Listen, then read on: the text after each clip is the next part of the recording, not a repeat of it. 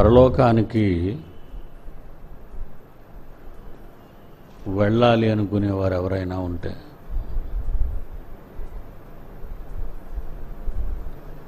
ఈ మానవ జీవిత కాలం తరువాత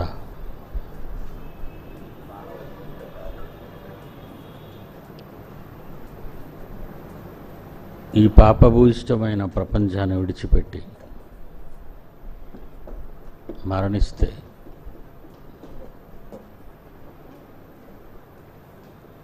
వాళ్ళు శిక్షలోనికి పోకుండా దేవుని దగ్గరకు వెళ్ళాలి అని అనుకునే వాళ్ళకు యేసుక్రీస్తు చక్కటి ఉపమానాన్ని వ్రాయించారు.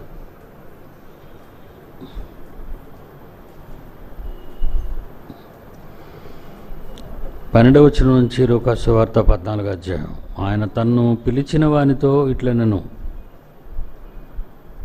ఆయన తను పిలిచిన వానితో ఇట్లనను నీవు పగటి విందైనను రాత్రి విందైనను చేయనప్పుడు నీ స్నేహితులైనను నీ సహోదరులనైనను నీ బంధువులనైనను ధనవంతులకు నీ పొరుగువారి నైనను పిలువవద్దు.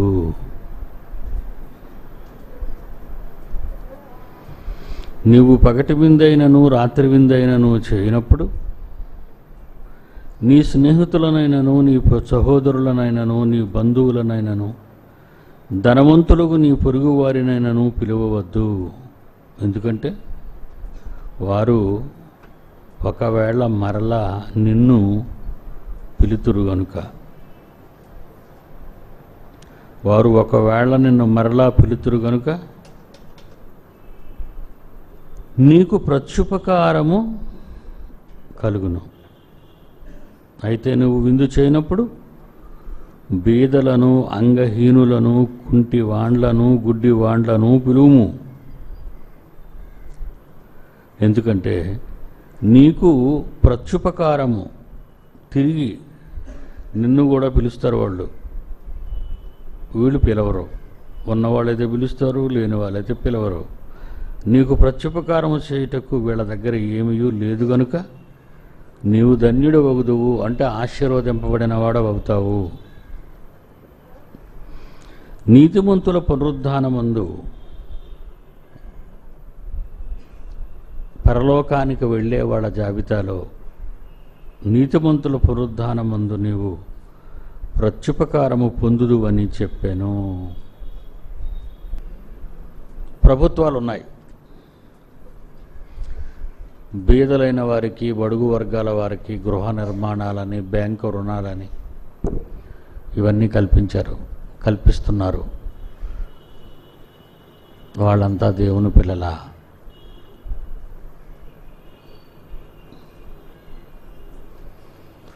రూడ్డంట బోరేవాడు వచ్చి అమ్మ ధర్మం చేయండి. అని అడిగేవాడు దేవుని కుమారుడా. దేవునికి పనికొచ్చేవాడా? బేదలు అనగానే ఒక రకమైన కాన్సెప్ట్ సమాజంలో ఉంది. లోకమందు డబ్బు లేనోళ్ళు రోగాలతో ఉన్నవాళ్ళు కష్టాల్లో ఉన్నవాళ్ళు అని. కానీ బైబిల్ భాష్యం అది కాదు. బైబిల్ భాష్యం వేరు. కొరిందీలకు రాసిన రెండో పత్రిక అపోస్తుడైన పావులు కొరిందులకు రాసిన రెండో పత్రిక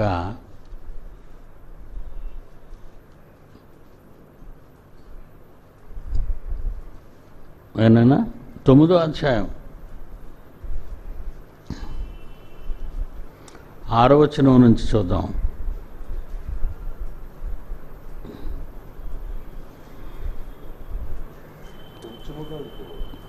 కొంచెముగా విత్తువాడు కొంచెముగా పంట కోయను. రెండు కొరింది తొమ్మిదో అధ్యాయం ఆరో నుంచి. కొంచెముగా విత్తువాడు కొంచెముగా పంట కోయను. సమృద్ధిగా విత్తువాడు సమృద్ధిగా పంట కోయను అని ఈ విషయమే చెప్పవచ్చును.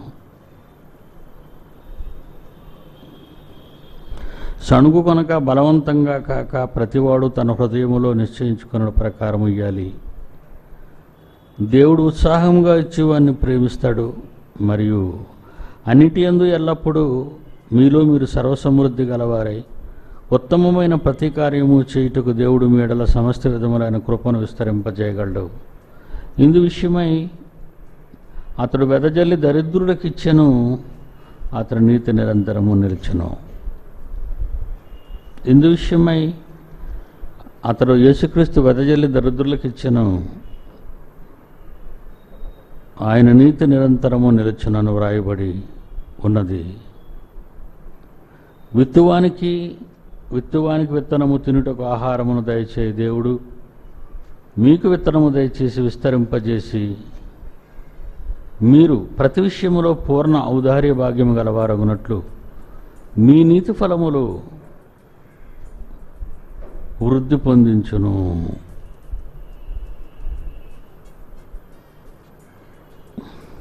పన్నెండు. ఏలయనగా ఈ సేవను గూర్చిన పరిచర్య పరిశుద్ధుల అక్కరలకు సహాయము కలుగజేయుట మాత్రము కాకుండా అనేకులు దేవునికి చెల్లించే కృతజ్ఞతాస్థుతుల మూలముగా విస్తరించి ఉన్నది. పరిశుద్ధుల అక్కరలకు సహాయము అందాలి. ఎవరు ఈ పేదవాళ్ళు? పేదవాళ్ళు పరిశుద్ధులు అనే పదప్రయోగం చేశారు ఇక్కడ.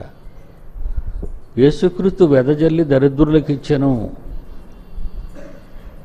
యేసుక్రీస్తు వెదజల్లి తొమ్మిదో వచనంలో అండి అతడు వెదజల్లి దరిద్రులకు ఇచ్చాను. దరిద్రులకు ఏమిచ్చాడు పాపం అనే పాపంలో మునిగిపోతూ పాపిష్టి జనాంగమైనప్పుడు నీవు నేను పాపిష్టులంగా అపవిత్రులంగా. దేవుని విషయంలో దరిద్రులంగా ఉన్నప్పుడు ఆ దరిద్రత నుండి పాపపు దరిద్రత నుండి మనల్ని అందరినీ కాపాడి నీతిమంతులుగా చేశాడు. వాళ్ళు పరిశుద్ధులు. పాపములు లేకుండా ఆయన రక్తము చేత కడుగుబడిన మీరు పరిశుద్ధులు. అందుకే వాక్యాన్ని వెదజల్లి పాపులకు చెబితే ఆయన వాక్యం విన్నవారు ప్రభు రక్తము చేత కడుగుబడిన వారై పరిశుద్ధులు అన్నాడు. అని పన్నెండవచనం ఈ సేవను గూర్చిన పరిశుద్ధుల పరిశుద్ధుల అక్కర కొలది సహాయము అంటున్నాడు. పేదలైనా దరిద్రులైనా ఉన్నవాళ్ళు ఎవరంటే పరిశుద్ధులు క్రైస్తవులకే ఉండాలి సహాయం చేయాలి. కరి- ఈ ఈ క్రైస్తవులకి ఎలాంటి సహాయం చేయాలి?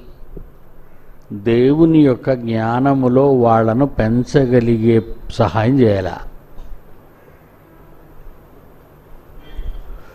వెరీ గుడ్ యేసుప్రభు చెప్పినటువంటి ప్యారబుల్ ఉపమానం దగ్గరికి వెళ్ళిపోదాం.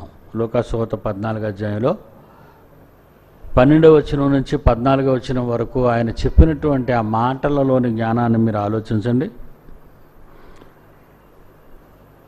నీవు పగటి విందైనను రాత్రి విందైనను చేయనప్పుడు నీ స్నేహితులనైనను నీ సహోదరులైనను నీ బంధువులనైనను ధనవంతులకు నీ పొరుగువారినైనను పిలవద్దు. నీకున్న దానిని పంచిపెట్టాలి అని నువ్వు అనుకుంటే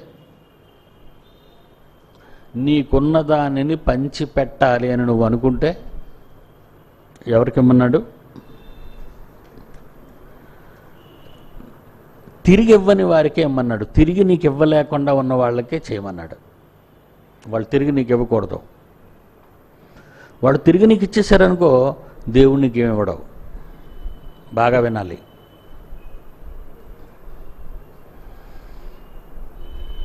మళ్ళా చదవండి. నీవు పగటి విందైనను రాత్రి విందైనను చేయనప్పుడు నీ స్నేహితులనైనను నీ సహోదరులనైనను నీ బంధువులనైనను ధనవంతులకు నీ పొరుగువారినైనను పిలవద్దు. వారు ఒకవేళ నిన్ను మరలా పిలుతురు కనుక నీకు ప్రత్యుపకారము కలుగు కలుగును. నువ్వు వాళ్ళ ఇంటికి భోజనానికి వెళ్ళావు వాళ్ళ ఇంటికి భోజనానికి వస్తారు. చెల్లు నువ్వు వాళ్ళ పెళ్ళి కట్నం ఇచ్చావు కనుక వాళ్ళు నీ పెళ్ళి కట్నం ఇస్తారు. చెల్లు నువ్వు వాళ్ళకి టీ ఇప్పించే కనుక వాళ్ళు నీకు టీ ఇప్పిస్తారు. చెల్లు నీకు చెల్లు చేయని నీ సహోదరులకు నువ్వు సహాయం చేయాలన్నాడు. అందుకే నీకు అర్థం కావడానికి ఎవరిని తీసుకున్నాడో చూడు పదమూడవ వచనంలో. మీకు అర్థం కావాలని ఎవరిని తీసుకున్నాడు ఎగ్జాంపుల్గా? నీవు విందు చేయనప్పుడు బేదలను అన్నాడు. యేసుక్రీస్తు ఎవరికి సువార్త ప్రకటించాడట? బీదలకు సువార్త ప్రకటించాడు అని రాయబడింది. అతడు వెదజల్లు ఎవరికి ఇచ్చాడని ఇందాక చదువుకున్నారు? దరిద్రులకు ఇచ్చాడు అని చెప్పి చదువుకున్నారు. ఎవరా దరిద్రులు అంటే క్రీస్తులోనికి పిలువబడిన వారైన పేదలైన క్రైస్తవులు. దేవుని పనిలో ఉన్న క్రైస్తవులై ఉండాలి. క్రైస్తవుడు కనుక సహాయం చేయడం కాదు. అతడు దేవుని పనికి ఉన్నవాడా? ఉన్ పనిలో ఉన్నవాడా? ఆమె పనిలో ఉన్నదా లేదా అని ఆలోచించాలి. ఎందుకంటే పదమూడవ వచనంలో నీవు విందు చేయనప్పుడు బేదలను అంగవిహీనులను కుంటివాండ్లను గుడ్డివాండ్లను పిలువుము. నీకు ప్రత్యుపకారం చేయుటకు వారికి ఏమీ లేదు. కనుక నీవు ధన్యుడు వగుదువు వాళ్ళు నీకు తిరిగి ఇవ్వరు గనక. మరి తిరిగి ఎవరిస్తారు నువ్వు చేసిన మేలుకి? నువ్వు చేసిన మేలుకి తిరిగిచ్చేవాళ్ళు ఎవరు? హెబిరి పత్రిక ఆరోగ్యం పదవచనం.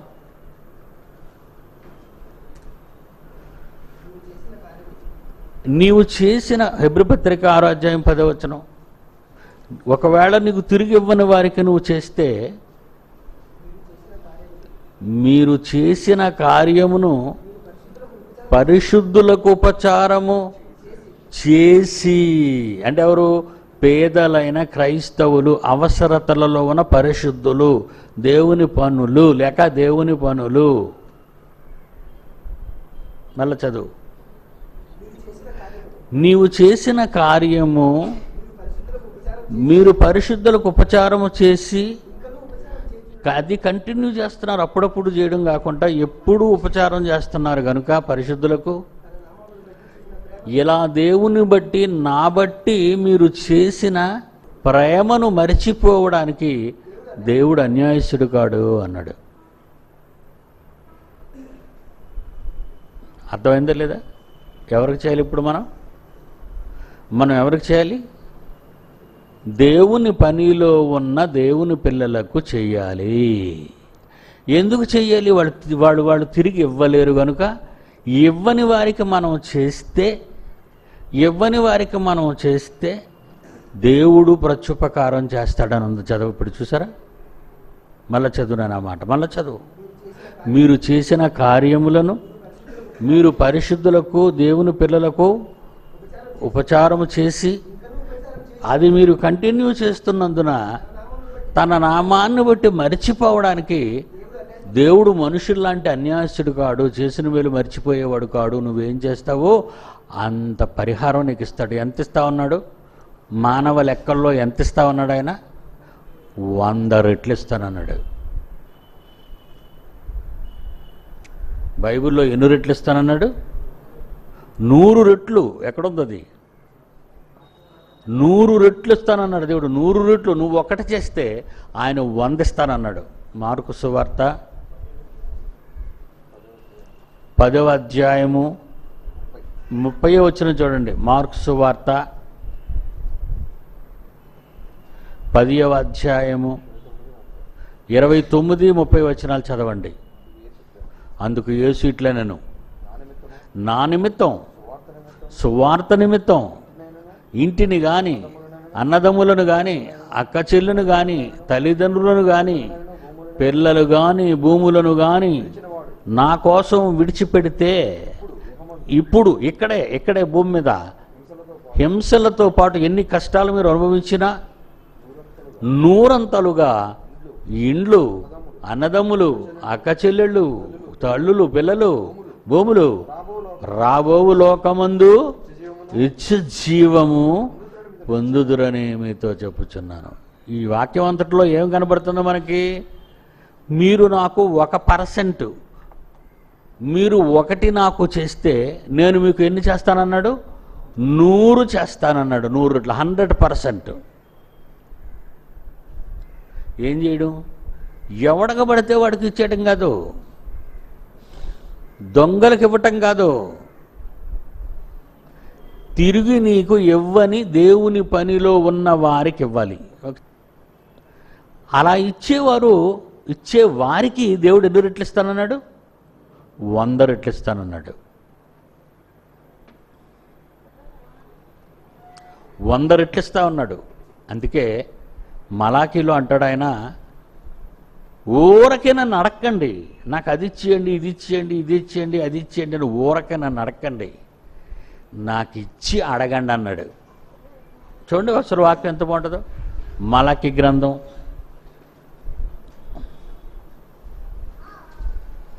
ప్రవక్త అయిన మలకి చివరి పుస్తకం కదా? మూడో అధ్యాయం మలాకి గ్రంథం పదే వచ్చిన బాగా వినండి. మీరు ఎవరు పడతాడు? మోకాళ్ళలోనే దేవుడా నాకు ఇచ్చేయండి దేవుడా నాకు ఇచ్చేయండి అంటే దేవుడు అసలు మీకు ఇవ్వడు. నువ్వు దేవుడికి ఏం చేసావని నీకు ఇవ్వాలి? చాలామంది నన్ను ప్రార్థన చేయండి అయ్యగారు అంటారు. చేస్తాను. చేస్తానంటాను. కానీ నువ్వు ఒకటి నిన్ను ఒక ప్రశ్న అడుగుతున్నాను చెప్పు. నువ్వెంతవరకు దేవుడికి ఏం చేసావో చెప్పు నేను అడుగుతాను. ఏడుస్తున్నాడు మా అమ్మ క్యాన్సర్ అండి మీరు ప్రార్థన చేయకపోతే ఎలాగండి? అన్నాడు. మీ అమ్మకి క్యాన్సర్ వచ్చింది కనుక ఇప్పుడు నన్ను ప్రార్థన చేయమంటావా? క్యాన్సర్ రాకముందు నీ తల్లి ఏం చేసింది దేవుని కొరకు ఒక్కడ చెప్పన్నాను ఎందుకంటే మీరు ఇందాక ఒక వాక్యం చదివారు ఎబ్రి పత్రిక ఆరు పదిలో.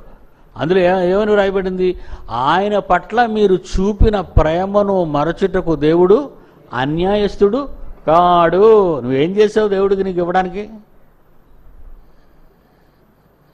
నువ్వు దేవుడికి ఏమైనా చేస్తే ఇప్పుడు నా దగ్గర చాలామంది పని చేస్తుంటారు. వాళ్ళకి డబ్బులు ఇచ్చేస్తుంటాను. వాళ్ళకి నేను డబ్బులు ఇచ్చేసాను కదా. దేవుడు వాళ్ళకేం చేస్తాడు? ఏం చేయడు. ఎవరినైనా దేవుని పని చేయమంటాను. వాళ్ళ కూలి ఎంత అడుగుతారు? ఎంతనైనా నీ కూలి అంటాను? ఆ కూలి ఇచ్చేస్తాను. వాళ్ళు చేసిన పనికి సహాయాన్ని కూలిని తీసేసుకున్నారు వాళ్ళు. దేవుడేమిస్తాడు ఇంకా వాళ్ళకి? ఎవడు?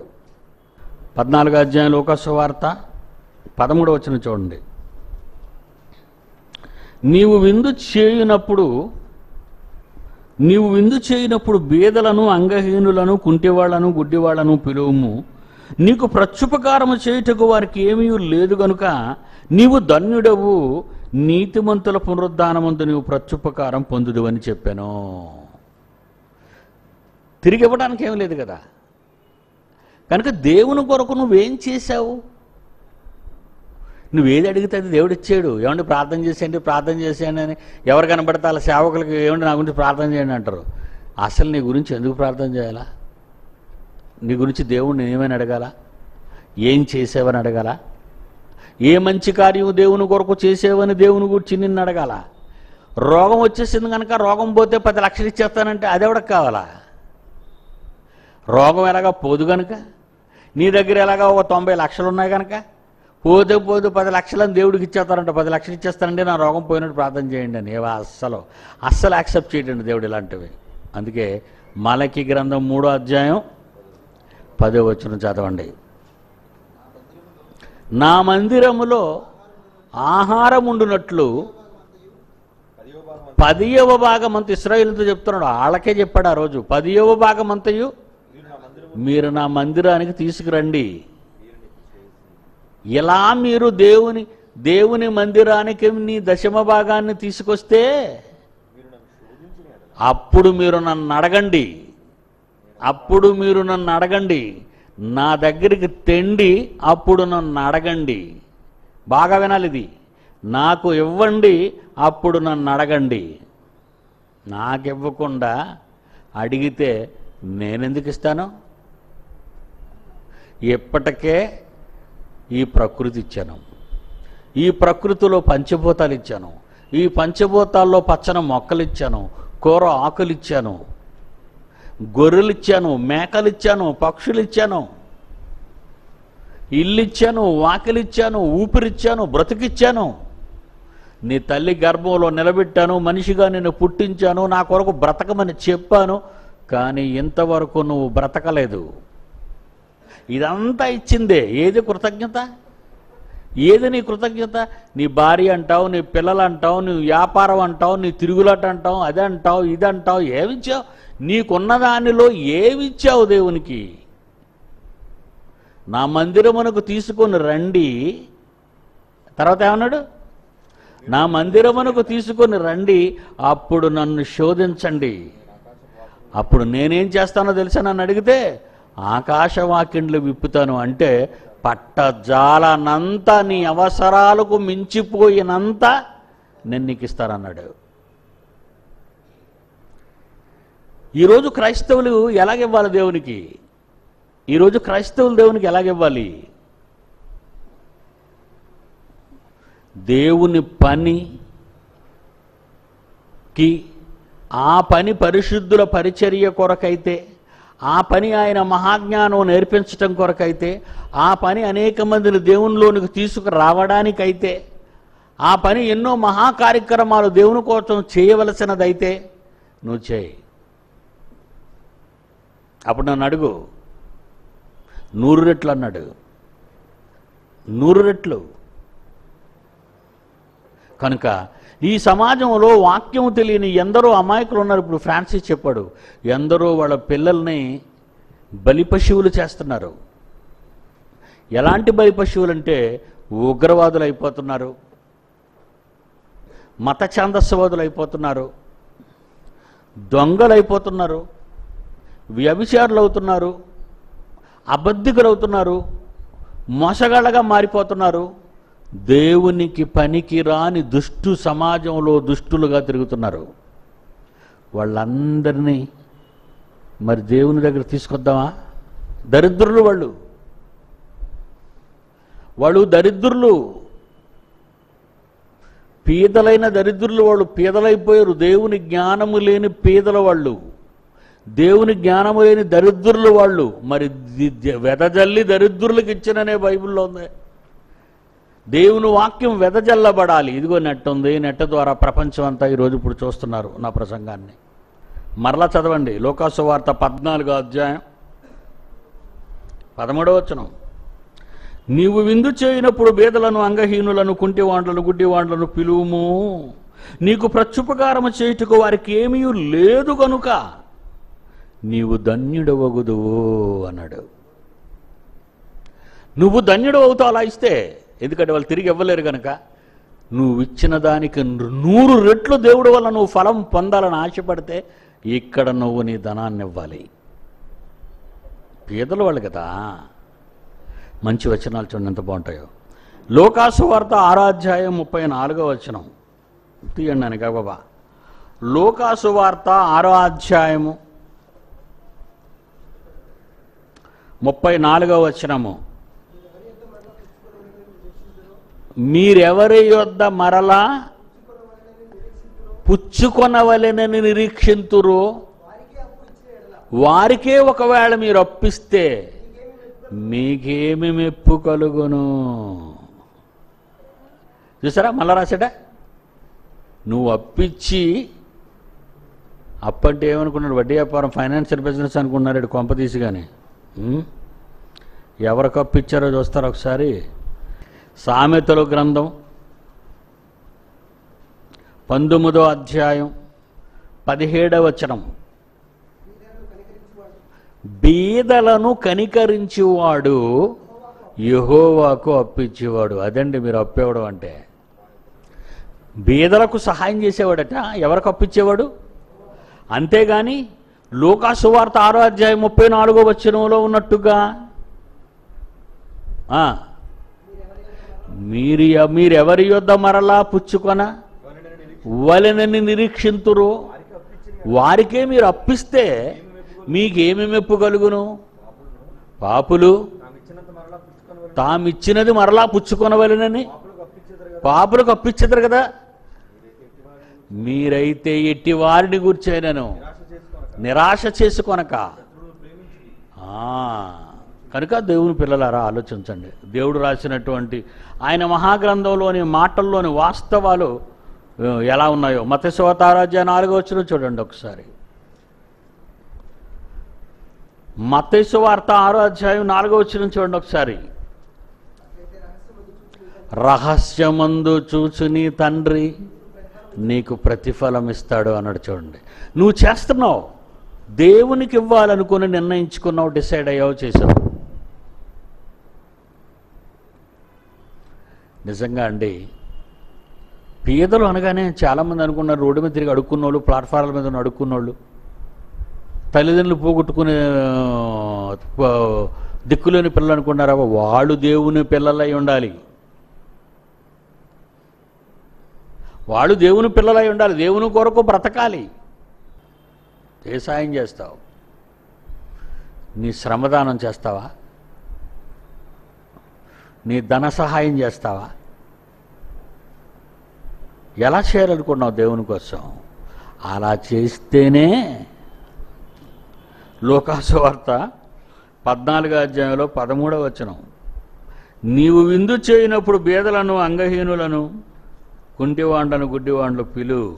లేకపోతే నీకు ప్రత్యుపకారం చేయుటకు వారికి ఏమీ లేదు గనుక నీవు ధన్యుడు ఒకతావు నీతిమంతుల పునరుద్ధానమందు నీవు ప్రత్యుపకారము దేవుని వలన పొంది పరలోకానికి వెళ్తావు అని చెప్పాడు. పరలోకం ఇచ్చే పరలోకం ఇచ్చి పరలోకం ఎవడబ్బ సొమ్ము నీకు ఇచ్చేటానికి? సచ్చిన ప్రతి సన్నాసిని సమాధులు పెట్టిల్లో పెట్టి పా దొంగ పాస్టర్ నిలబడి ఈ ఆత్మను పరలోకానికి చేర్చుకొని ఇంగిలి మాటలుగా వింటున్నావు? ఇలాంటి మాటలు విని సమాజం మోసపోయింది. పని చేయకపోతే నీ యజమాని నీ కూలి ఇవ్వడం. ఇంటి పని చేయకపోతే ఇంటి యజమానురాలే నీకు కూలి ఇవ్వదు. పరలోకం ఎవడబ్బ సొమ్మని తీసేసుకుంటావు చచ్చాక? ఎందుకు ఇవ్వాలి నీకు? వచ్చిపోయినందుక అందరూ పోతున్నారు వచ్చి. అందరూ చూసి ఇక్కడి నుంచి రోడ్డు మీద చూసి గుండె మీద చేసుకొని వెళ్ళిపోతున్నారు. నువ్వు వచ్చి కాకపోతే లోపలికి వచ్చి ఫ్యాన్ కింద కూర్చొని విని వెళ్ళిపోతున్నావు. వాళ్ళకంత ఎక్స్ట్రా ఉంది నీ దగ్గర? ఆ దారిని పోయే వాళ్ళకి ఏమీ లేదు. దేవునికి చేయాలన్నది లోనకొచ్చి కూర్చున్న వానికి ఏమీ లేదు. దేవునికి చేయాలని. దేవుని పిల్లలారా ఈ సమాజంలో దేవుని జ్ఞానం లేక ఈ జ్ఞానం తెలియక ఎందరో భూమి మీద ధనాన్ని కూర్చుకోవడానికి ప్రయత్నిస్తున్నారే తప్ప పరలోకమందు మీ కొరకు ధనము కూర్చుకోండి అనేది ఆ మార్గం ఏంటి ఎవడో చెప్పటం లేదు. మరో వచనం చూస్తారా? సామెతల గ్రంథం ఇరవై రెండు తొమ్మిదవ వచనం. సామెతలు గ్రంథం ఇరవై రెండవ అధ్యాయం తొమ్మిదవ వచనం. దయాదృష్టి గలవాడు తన ఆహారములో కొంత దరిద్రునికి ఇస్తాడు ఎవడి దరిద్రుడు? యేసుప్రభు అన్నాడు. అతడు వెదజల్లి దరిద్రులకు ఇచ్చాను. ఇందాక కదా చదివాడు రెండో కొరింది తొమ్మిదో అధ్యాయం పదో వచనం నుంచి. పద రెండో కొరింది తొమ్మిదో అధ్యాయం ఆరో వచనం నుంచి. తొమ్మిదో వచ్చిన వరకు అతడు వెదజల్లి దరిద్రులకు ఇచ్చాను. దరిద్రులు అంటే ఎవరు? ఏంటి వెదజల్లిశాడు? యేసుప్రభు దగ్గర ఏముంది వెదజల్లడానికి? ఏమైనా బంగారు నాణ్యాల బస్తాతో తెచ్చి ఇసిరాడా? ఎక్కడనుందో బైబిల్ అది? తండ్రి దగ్గర విన్న మహాజ్ఞానాన్ని ప్రజలకు చెప్పాడు. అది ఆ దరిద్రులకు జల్లింది. ఏమంటే ప్రపంచంలో ఎవడి బైబిల్ చెప్పడండి? ఎవడికి తెలియదు కనుక. ఎవడికి తెలియదు ఇది? అతడు వెదజల్లి దరిద్రులకు ఇచ్చాడు. ఏంటి వెదజల్లాడు? దేవుని మహాజ్ఞానం. అది వెదజల్లడానికి నా అవసరం ఏమైనా ఉందా? అని నువ్వు అడగాలి.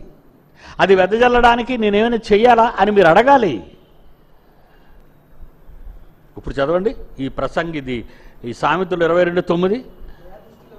దయాదృష్టి గలవాడు చూడండి బైబిల్ చూడాలి మీరు. దయాదృష్టి గలవాడు తన ఆహారములో కొంత దరిద్రునికి ఇచ్చును. అట్టివాడే దీవెన నొందుతాడు. అట్టివాడే. అట్టివాడే. ఆలోచించండి. మరి మీరేం చేస్తున్నారు దేవునికి? నాకు బట్టలు కుట్టించాడని మిమ్మల్ని అడగలేదు. నాకు కారు కొనియండి దేవుడు రాత్రి నాతో చెప్పాడని ఎవరినైనా అడిగానా? నా కారు కొనుక్కుంటాను అవసరమైతే విమానాన్ని కూడా నేను కొనుక్కుంటాను ఎవరిని అడుక్కోను. మిమ్మల్ని అందరినీ కోరుకునేది ఒక్కటే. నాకు చేస్తే మీకు ఉపయోగం లేదు. మీ కన్న తండ్రికి చేసి మేలు పొందండి.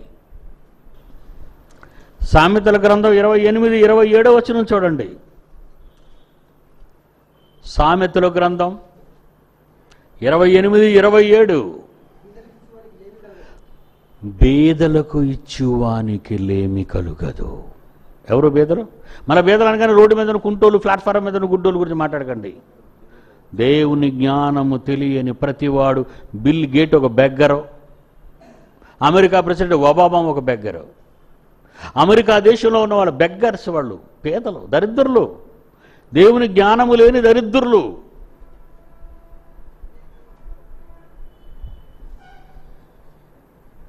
చదువునైనా బీదలకిచ్చి వానికి లేమి కలుగదు. కనులు మూసుకొని వానికి బహుశాపములు కలుగును. బీదలకు ఇవ్వాలి ఎవరా బీదలు? దేవుని జ్ఞానము లేని బీదలు. మరో వచనం చదువుతారా? ద్వితీయోపదేశకాండం పదిహేనవ అధ్యాయము ఏడవ వచనం నుంచి పదకొండవ వచనం వరకు జాగ్రత్తగా చదవండి. మోసే ఏమంటున్నాడో? ఇస్రాయేలీలతో ఆ రోజే. ద్వితీయోపదేశకాండం పదిహేనవ అధ్యాయము ఏడవ వచనము నుండి పదకొండవ వచనం వరకు. హరియప్ నీ దేవుడైన యహోవా నీకిచ్చుచున్న ఈ పాలస్తీనా దేశంలో నీ పురములలో ఎక్కడైనా నీ సహోదరులలో నన్ను నమ్మిన వాళ్ళలో ఒకడు ఒకడు ఉంటే నన్ను నమ్మానని చెప్పుకుని బుద్ధి లేని వాడు ఒకడు ఉంటే ఆ దరిద్రుడైన సహోదరుడు నువ్వు కనికరించకుండా నీ హృదయాన్ని కఠినపరచుకోకూడదు. నీ చెయ్యి ముడుచుకోకూడదు. పది రూపాయలు తెచ్చి పడేకి సంచిలో. నీ చెయ్యి ముడుచుకోనక వాని కొరకు చాచి చెయ్యి చాచి వాని అవసరతనంత బట్టి అవశ్యముగా ఎంత సరిపోతా అంత ఇమ్మన్నాడు నిన్న అంతే వాడికి పదిహేను కోట్లు కావాలా? పదిహేను కోట్లు కావాలండి రెసిడెన్షియల్ యూనివర్సిటీకి ఎంత అనుకుంటున్నారు? ఫిఫ్టీన్ క్రోర్స్ అమితాబ్ గారి షోలో పాల్గొని క్రూరపతి అయిపోదామా? అదరిద్రుల దగ్గర మనం ఎందుకు వెళ్ళాలి? మీరుండి ఉపయోగం ఏముంది? మీ వలన దేవునికి ఒరిగేదేముంది వాడి దగ్గరికి వెళ్తే దేవుడికి మీరు చేసేదేముంది దేవుడు ఎంత శాసిస్తున్నాడో చూసారా ఇస్రాయేలీలకే పెట్టాడు ఇది ఆ, నీ చెయ్యి చెయ్యి ముడుచుకొనక వాని కొరకు అవశ్యకముగా చెయ్యి చాచి వాని అక్కర అవసరాన్ని బట్టి. చాలినంత. సారినంత అప్పి నువ్వు అప్పుతే లేకపోతే నేను పేదవాడినండి. నా దగ్గర ఏమి లేదండి అప్పు చేయి. నీ కొడుకుకి ఇరవై లక్షల రూపాయల రోగం వచ్చింది అనుకో ఏం చేస్తావు? సూపర్ వైరస్ ఎంటర్ అయిందట ప్రపంచంలో తెలుసా? రాత్రి చెప్తున్నాడు. Super virus. విదిన్ ఫోర్ డేస్లో లేచిపోతారట. అది బర్డ్ ఫ్లూ నుంచి వచ్చిందో ఎలా వచ్చిందో మొత్తానికి అది తయారైందట బ్యాక్టీరియా వచ్చేసిందట. పుట్టేస్తుంది. తెగుళ్ళు అంటారు చూసారా? తెగుళ్ళు లక్షలకు లక్షల మందిని లేపేస్తుంది అది వచ్చి. ఒకప్పుడు కలరా వచ్చి లక్షల మందిని పొట్టన పెట్టుకుంది.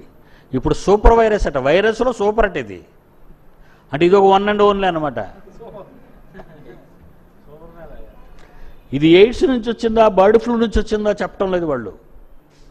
మొత్తానికి వచ్చేసింది. ప్రపంచాన్ని ఆవహిస్తుందట అది. దీనికి యాంటీ బ్యాక్టీరియా లేదట అంతుపట్టను వ్యాధట ఏం చేద్దామండి? ఇలాంటి చూస్తే నీకేం చేస్తావు? అప్పు చేయవా? రోగాలు వస్తే అప్పు చేయవా? అవసరాలు ఉంటే అప్పు చేయవా? అప్పు చేసిమ్మన్నాడు చూడండి అక్కడ. చదవండి. నీ చెయ్యి ముడుచుకొనక వాని కొరకు అవశ్యకముగా చెయ్యి చాచి వాని అక్కర చొప్పున ఆ అక్కరకు చాలినంత ఆవశ్యకముగా వానికి అప్పియవలను. ఇంకా పదకొండవ వచ్చిన వరకు. విడుదల సంవత్సరమైన? ఏడవ సంవత్సరమును? సమీపమైనదని? చెడ్డ తలంపుని మనస్సులో పుట్టకుండునట్లు? జాగ్రత్త పడు. బీదవాడైన నీ సహోదరుడు కట కటక అతని మీద నువ్వు కటాక్షం చొప్పించకుండా నీవు వానికి దేవునిలో ఉంచటానికి ఏమి ఇయ్యకపోయినాడలా ఎడలా ఒకవేళ నిన్ను గురించి వాడు ఒకవేళ దేవుడికి మొరపెడతాడు నేను చదువుకుంటానన్నాను దేవుని కోసం అన్న పెట్టేవాడు బైబిల్ ఎప్పుడు ఎవడు లేడని ముందు నన్ను తిడతాడు తర్వాత మిమ్మల్ని తిడతాడు. విడుదల సంవత్సరమైన ఏడవ సంవత్సరం? సమీపమైనదని? చెడ్డ తలంపు నీలో పుట్టకుండా జాగ్రత్త పడు.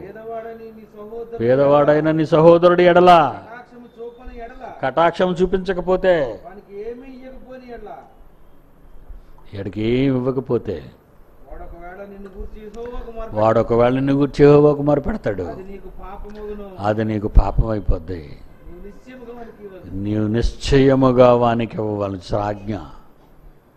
ఏనా? ఇచ్చినందుకు మన వానికి ఇచ్చినందుకు మనస్సులో విచారపడకూడదు. జాగ్రత్త?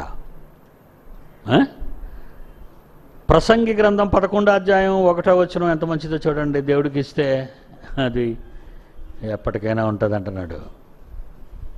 ప్రసంగి గ్రంథం పదకొండో అధ్యాయం మొదటి వచ్చిన నీ ఆహారాన్ని నీళ్ళ మీద పోయి కొట్టుకెళ్ళిపోయి కుళ్ళిపోయి పురుగులు తినేస్తా అనుకుంటున్నావేమో. కానీ అలా జరగదు. నీ కష్టాన్ని నీళ్ళ మీద వేయి. నీ ఆకలిని తీర్చేది నీళ్ళ మీద వేయి. చాలా దినములైన తరువాత అది నీకు కనబడుతుంది. కనబడుతుందా? కనబడదా? నా పట్ల దేనినైనా మరిచిపోవడానికి నేను అన్యాయస్తుడిని కాదు అన్నాడు చూడండి ఆయన. మతస్వార్త పదో అధ్యాయం నలభై రెండు. మత్స్సువార్త పదో అధ్యాయం నలభై రెండు. ఎటన్నాడండి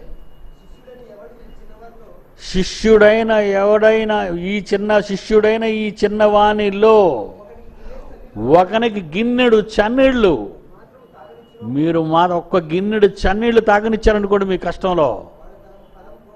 నీ ఫలం పోగొట్టుకో అనేసాడు ఇది నిజం అన్నాడు. ఇది నిత్యం సత్యం అన్నాడు చూడండి అక్కడ. గిన్నెడు చన్నీళ్ళు ఇవ్వగలవా? చివరి మాట మతేశ్వ వార్త ఇరవై ఐదు నలభై.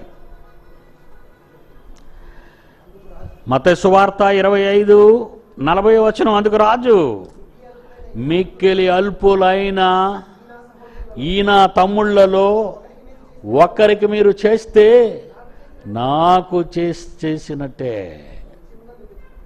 ఇది నిజం ఇది సత్యం అంటారు మన నిశ్చయం. అందుకే చూడండి ఏమాట ఆయన నిశ్చయముగా మీతో చెప్పుచున్నాను అంటాడు. నిశ్చయముగా మీతో చెప్తానంటే ఇది నిజం ఇది సత్యం అని అర్థం. మనం అది ఎలా తీసుకుంటాం? ఇది ఇంతే. ఆయన ఎంత నిజమని చెప్తే మనకు అంత అబద్ధంగా కనబడుతుంటుంది అది. దేవుని కోసం చేయండి రా.